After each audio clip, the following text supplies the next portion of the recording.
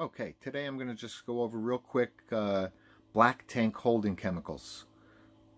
Everybody has their uh, own preference. I've been using this system called Blue Streak for about 17 years. And what it is is a small reservoir that attaches near your RV uh, toilet uh, with a small line that goes and connects to your incoming water line to the toilet. You put this Blue Streak chemical in the reservoir and each time you flush this T-valve you attach uh, pulls in a certain amount of chemical.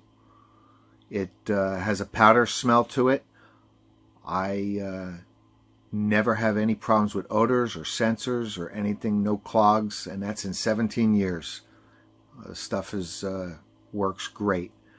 I am going to leave a link to the reservoir kit in the description below.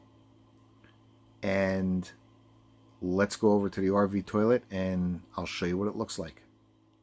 Okay, so this is my bathroom area and you see to the left of the uh, toilet is a little box. That is the Blue Streak dispenser. It's actually a uh, cover. Basically, it's a reservoir. That holds the Blue Streak chemical. You attach that to the wall and it's got a line. Let's see if I can get it there. You can just see it there in the corner. That line goes into the toilet line. And through a valve that you insert in the line it pulls a certain amount of chemical with each flush put the camera cover back on. And I'm going to try and reposition this camera so we can take a look behind the toilet here Okay, so now we're looking behind the toilet. And you're, this is the side of the reservoir here. And there's a clear tube that comes from the reservoir. It goes into this T-valve here. This valve is just basically cut right into the incoming line that feeds your toilet with fresh water. As fresh water flows through this valve, it pulls a certain amount of liquid from the reservoir.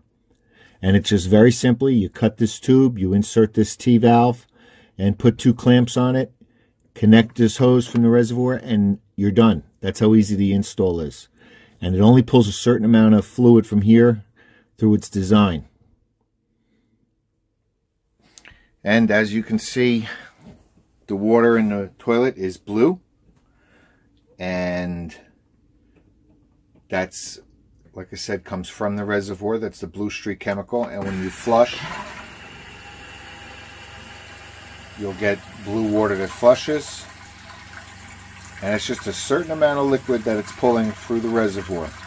And then you close it, and you can fill it up. The chemical has a uh, very light powder scent.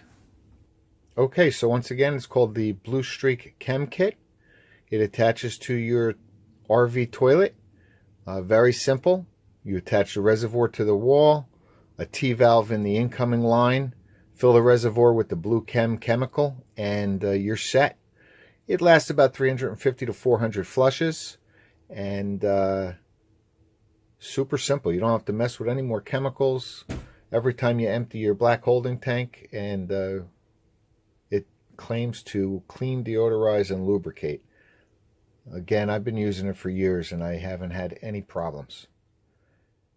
If you have any questions, hit me up in the comments. And as always, thanks for watching.